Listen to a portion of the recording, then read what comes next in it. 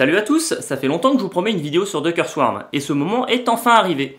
La raison pour laquelle ça a pris autant de temps, c'est que j'attendais une annonce majeure qui vient d'avoir lieu à la DockerCon à Copenhague. Putain, j'ai oublié de débrancher le pipomètre En vrai, c'est bien l'annonce à la DockerCon qui m'a remotivé pour créer cette vidéo, parce que je vais essayer de revenir sur l'historique de Docker Swarm pour vous faire comprendre l'annonce qu'on vient d'avoir. C'est parti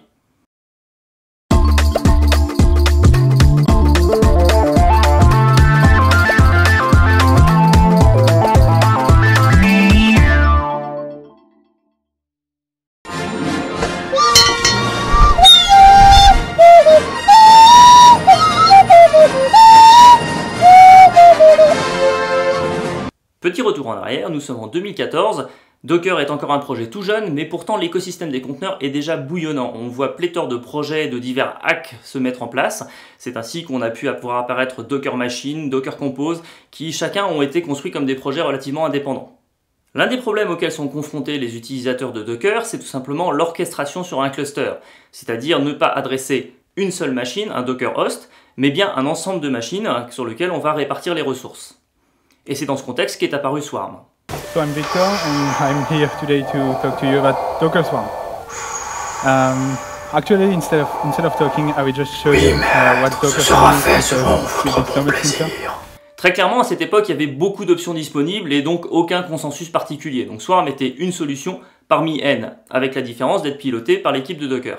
L'idée derrière Swarm, c'est tout simplement de faire quelque chose de simple c'est-à-dire d'utiliser l'API Docker existante et de masquer la complexité d'un déploiement sur un cluster qui contient plusieurs machines. Si on y réfléchit, c'est un petit peu ce qui vous est aussi proposé par Mesos, c'est-à-dire de regrouper l'ensemble des machines physiques pour donner quelque chose qui ressemble à un système d'exploitation regroupant l'ensemble des ressources physiques. On va donc avoir n machines et une API d'entrée qui va ressembler à une API Docker mais qui va être capable de distribuer les différents conteneurs sur toutes ces machines. Cette couche va agir comme un proxy pour les API Docker, mais aussi comme un manager pour décider sur quelle machine physique va être démarré un conteneur. Elle va faire également de l'agrégation de données, c'est-à-dire par exemple lorsqu'on fait un Docker PS sur Swarm, on va lister l'ensemble des conteneurs qui tournent sur toutes nos machines et non pas sur un seul Docker host. La gestion du cluster est confiée à un service manager qui lui-même tourne dans un conteneur et qui va être répliqué sur un certain nombre de machines de manière à assurer la redondance du système. À côté des managers, on va avoir aussi des services agents qui sont là pour mettre à disposition du cluster les ressources d'une machine physique donnée. Le manager assure aussi la surveillance des différentes ressources du cluster, c'est-à-dire qu'il va effectuer un ping sur les différents nœuds et va être capable d'identifier un nœud défaillant et donc le considérer comme perdu pour le cluster. Et c'est là qu'on va avoir des mécanismes de reprovisioning des différents conteneurs sur une autre machine, ce qui évidemment n'est pas transparent pour l'architecture de votre application. Mais pour un peu que vous ayez géré ce cas, ça vous permet d'avoir un service qui va être redémarré automatiquement en cas de défaillance matérielle. De la même manière, notre manager lui-même est répliqué sur les différentes machines, et on a un mécanisme d'élection pour identifier le manager principal qui fait foi en termes de données. Dans la version initiale de Swarm, l'élection de ce master est basée sur un système externe de type clé-valeur, par exemple consul, ce qui va permettre d'enregistrer des données de manière résiliente. Évidemment, ça rajoute encore un élément à l'architecture. En tant que client Docker, maintenant, on va utiliser une clé TLS spécifique et un point d'entrée qui nous permet de discuter avec l'un des masters. Il se charge de rerouter le trafic entre eux. Lorsqu'on va vouloir démarrer un conteneur, le manager va devoir identifier quelle machine physique va effectivement héberger ce conteneur. Et là, plusieurs stratégies sont possibles. Par exemple, le bin packing, qui permet de remplir au maximum une machine avant de passer à la suivante, ou bien le run robin, qui permet tout simplement de répartir la charge sur les machines de manière plus ou moins aléatoire, mais à peu près équilibrée. Évidemment, dans la vraie vie, on a besoin d'être un peu plus déterministe et nos machines ne sont pas strictement équivalentes. On va par exemple avoir un groupe de machines qui vont être équipées de disques SSD.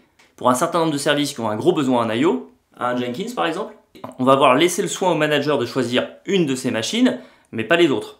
Pour ça, on va utiliser des labels et des mécanismes d'affinité, c'est-à-dire qu'on va démarrer le conteneur en rajoutant des métadonnées pour que Swarm soit au courant qu'on recherche une machine avec SSD. C'est ce qui va nous permettre de sélectionner les machines en fonction de leurs caractéristiques réseau, mémoire, CPU ou de la façon dont elles sont connectées au reste du réseau. Dans le modèle de Swarm, la scalabilité est assurée dynamiquement en venant rajouter des machines au cluster et les nouveaux conteneurs qui sont démarrés vont pouvoir être provisionnés sur ces nouvelles ressources. De la même manière, on peut réduire les ressources du cluster en désactivant un agent Swarm, ce qui veut dire qu'il ne sera plus disponible pour de nouveaux conteneurs, en arrêtant les conteneurs sur ce nœud-là, le mécanisme de failover de Swarm va redémarrer ses conteneurs sur d'autres machines disponibles. Et ainsi faire l'équivalent d'un défrag. Tout ça paraît très bien, et d'ailleurs c'est toujours d'actualité, le projet dit euh, Docker Swarm Standalone existe toujours, et peut par exemple être utilisé avec le plugin Docker de Jenkins. Mais évidemment, pendant ce temps, la concurrence ne reste pas les bras croisés. Et en particulier, Google jette un pavé dans la mare en lançant le projet Kubernetes. Je ne vais pas rentrer dans les détails de ce que fait Kubernetes parce que d'abord ça ferait une vidéo très longue, aujourd'hui on parle essentiellement de Swarm, et ensuite je connais relativement mal cet outil. Toujours est-il que l'idée de Google, c'est de réimplémenter la solution qu'ils ont en interne depuis des années, donc de montrer leur expérience dans le monde du conteneur, en proposant une implémentation un peu plus simple en open source. On trouve donc dans Kubernetes des concepts beaucoup plus avancés que ce qu'on avait dans Swarm, qui se contentent de reprendre l'API Docker, avec également le prix d'une certaine complexité. Toujours est-il que quand on s'appelle Google, qu'on n'est pas manchot et qu'en plus on fait copain-copain avec Red Hat, bizarrement on attire du monde. Luc, ton nom à l'envers, ça fait cul. Qu'est-ce qu'il peut dire comme connerie celui-là?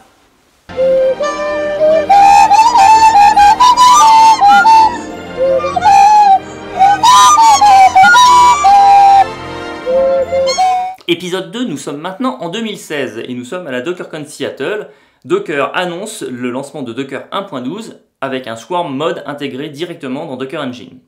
Alors on peut évidemment voir dans cette annonce une façon de forcer entre guillemets les utilisateurs à passer sous Swarm, ou en tout cas à l'essayer. Je vous laisse vous faire votre propre opinion sur le sujet, ici on va s'intéresser aux aspects techniques de Swarm.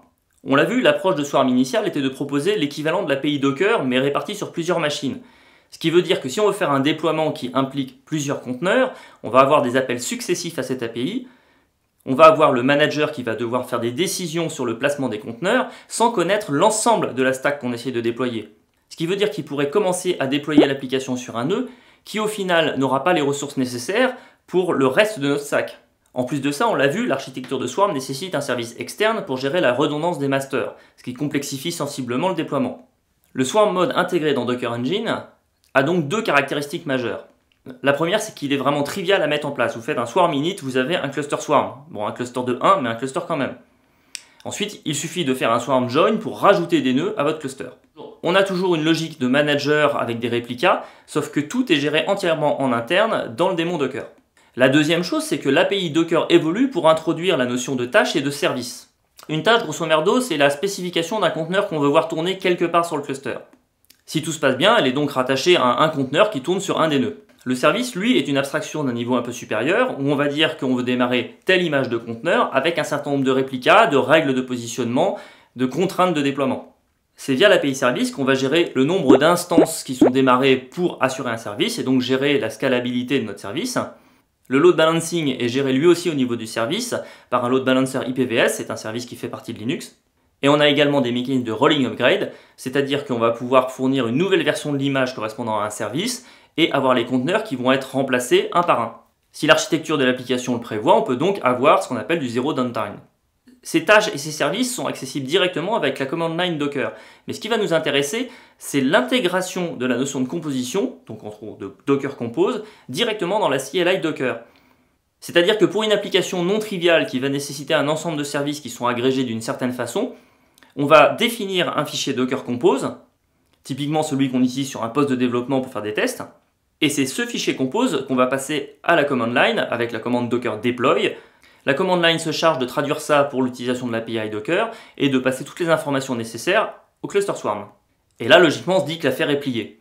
Sauf que non.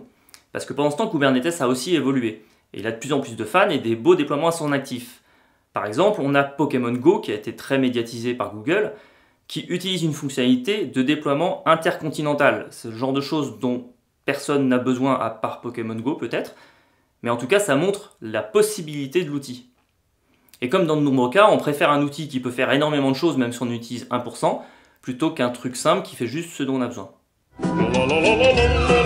Bon ça c'était pour le troll gratuit, c'est clair que Kubernetes a démontré des déploiements avec une très grande stabilité, alors que Swarm, du fait qu'il a été refondu en gros deux ans après sa création initiale, peut effrayer certains utilisateurs qui vont devoir mettre ça en production. Vous rajoutez à ça une petite couche de Bonjour, je m'appelle Red Hat et moi j'ai fait ma version de Kubernetes, j'appelle ça OpenShift, c'est un nom que j'avais déjà utilisé avant, ça n'a rien à voir, mais c'est pas grave, c'est bien vendeur. Et vous avez l'explication.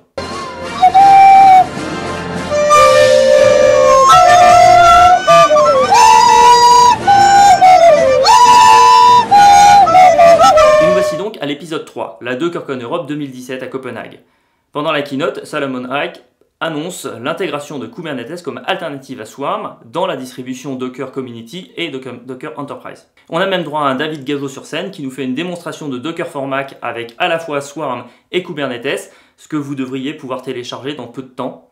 Ça dépend quand vous regardez cette vidéo, donc peut-être que vous l'avez déjà ou que même depuis, ça n'est plus du tout ça. Cette intégration n'est pas en soi une surprise, c'est plutôt la façon dont c'est intégré qui est intéressante. En particulier, ce qu'a fait Docker, c'est qu'ils ont conservé l'abstraction des tâches, des services, des stacks pour proposer une API simple utilisable avec la CLI Docker.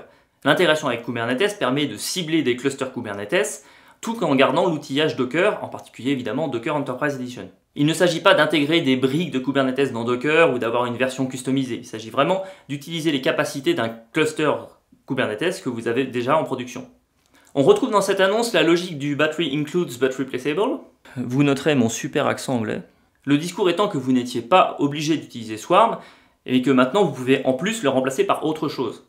Dans cette approche, Kubernetes est positionné comme n'étant qu'un élément technique de la stack, en gros une facility. Pour Docker Incorporated, ça permet évidemment de continuer à développer la valeur ajoutée de Docker Enterprise Edition. Et pour la communauté Docker, ça permet tout simplement d'avoir le même outil qui adresse toutes ces plateformes. Parce qu'aujourd'hui, très clairement, on a encore des développeurs qui ont du mal à packager correctement leur application dans des conteneurs. Il ferait mieux de regarder la chaîne Quad 9 Docker d'ailleurs. Sur un poste de développement, Docker compose encore de belles heures devant lui. Avec l'intégration de Swarm et de Kubernetes dans Docker for Mac et Docker for Windows, il va maintenant être possible de tester un déploiement via cette syntaxe Docker Compose, à la fois sur un cluster Swarm, mais surtout sur un cluster Kubernetes. Alors un, un cluster Minikube qui se limite à un seul nœud. Mais globalement, on va pouvoir vérifier que les API Kubernetes sont exécutées correctement et que le déploiement est fonctionnel. Et là encore, on retrouve la promesse de Docker en termes de facilitation. C'est-à-dire que l'installation des outils Docker for Mac, Docker for Windows nous permet d'avoir un environnement de développement extrêmement productif en très peu de temps. Je sais qu'il y en a parmi vous qui ont un poste de développement Linux et qui donc ne vont pas bénéficier de ces avancées. En même temps, vous êtes habitué à la ligne de commande et donc installer un minikube ne doit pas vous faire très peur. Et l'intégrer à votre démon Docker sera juste une question de quelques lignes de configuration. Bon, alors j'ai pas trouvé la doc, mais elle sera sans doute en ligne très bientôt. Moralité, je connais pas mal de gens qui ont conclu de cette keynote quelque chose du genre euh, Kubernetes a gagné. Ce qui est pas complètement faux, mais ce qui veut surtout dire que maintenant on a un outillage qui est indépendant de l'infrastructure de clustering, ce qui en soi est très bien, et qu'on va pouvoir continuer à utiliser un outillage de développement bien intégré tout en ciblant une infrastructure robuste. Rejoins-moi, Luc. Ensemble, nous conquérerons le monde. Euh, c'est toi qui fais le boulot, euh, pourquoi pas hein Ah ben voilà. Merci d'avoir suivi cette vidéo, j'espère que ça vous a plu. Euh, vous connaissez le principe, hein, vous mettez des pouces comme ça, vous vous abonnez à la chaîne, vous n'oubliez pas d'activer la petite cloche parce que sinon bah, YouTube ne vous envoie pas de messages quand il y a des nouvelles vidéos. Donc l'abonnement sert à rien. N'hésitez pas à me pinguer sur Twitter s'il y a des choses pas claires ou que vous avez des questions. Et surtout, partagez cette vidéo avec vos collègues et vos amis de manière à ce que notre petite communauté s'élargisse et que vous soyez toujours plus nombreux à me botter le cul pour que je sorte de nouvelles vidéos. Allez sur ce, salut et merci à tous